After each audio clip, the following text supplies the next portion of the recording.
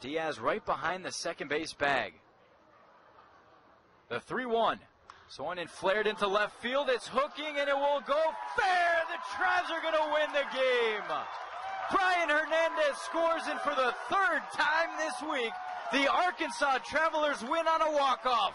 Kentrail Davis, the hero, hoists that W flag. It's a great day to be a Travs fan.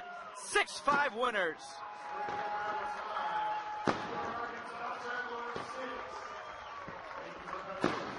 A little slicing action, and the Travs win.